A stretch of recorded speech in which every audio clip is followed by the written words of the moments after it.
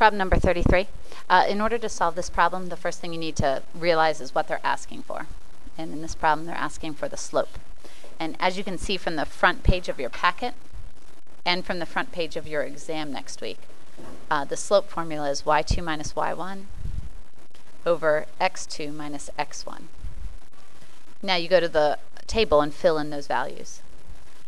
Your y values I just circled in black. I'm going to write 204, subtract 165.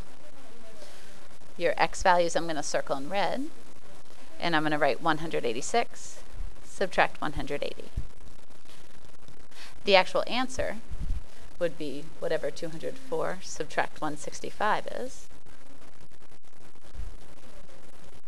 over 186 minus 180, which is 6. You can write your answer as a fraction, which is 39 over 6, math, enter, enter, which is equal to 13 halves. Or if you prefer decimals, you can actually just take 13 divided by 2, or 39 and divide by 6. And you should get 6.5. So, your slope is equal to 13 over 2, or 6.5.